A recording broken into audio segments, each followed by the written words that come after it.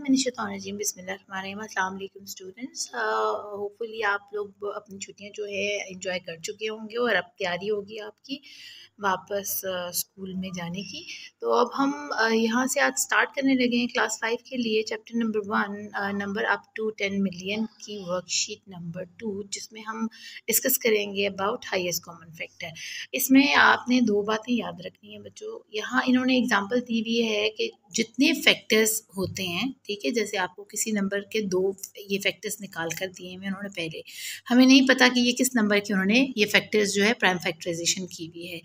लेकिन वो सिर्फ़ आपको यहाँ पर एचसीएफ लेना सिखा रहे हैं। जैसे आपके पास समझ लें ट्वेल्व है और थर्टी है और समझेंगे ये ट्वेल्व और थर्टी की उन्होंने यहाँ पर आपको निकाल कर दी हुई हैं। एग्जाम्पल्स इनके प्राइम फैक्टर्स निकाल कर दिए हुए हैं।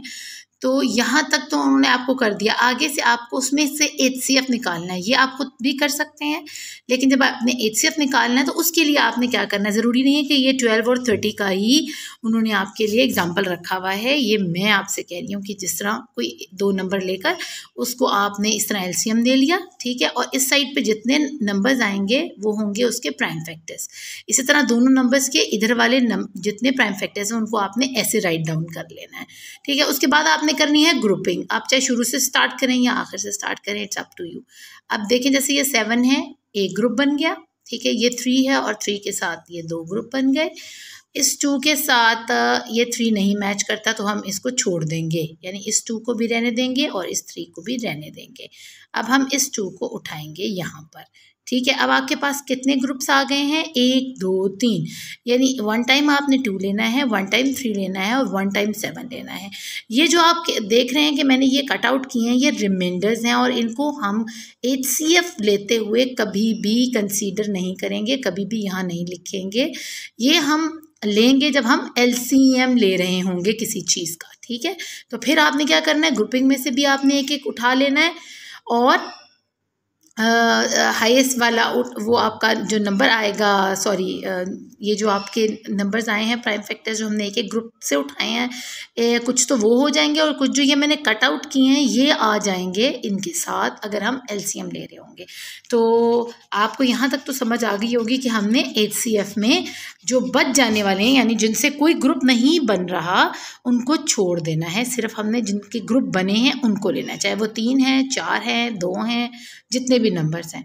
तो अब इनको फिर हम मल्टीप्लाई करेंगे तो हमारे पास जो नंबर आएगा वो होगा एच सी एफ़ यानी हाईएस्ट कॉमन फैक्टर जो कि इन टेबल से कट सकता है। अब इसी तरह सेम हमने लास्ट वाला प्रोसीजर करते हुए फिर से ग्रुपिंग करनी है, यानी सेवन को सेवन से फाइव को फाइव से और टू इधर नहीं है, इधर भी नहीं है, इधर टू है, इधर नहीं है, इधर थ्री है और इधर फाइव टू टाइम्स है। तो हम इन तीनों को भी छोड़ देंगे और इस वाले रिमाइंडर टू को भी छोड़ देंगे। अब हमारे पास सिर्फ़ क्या है?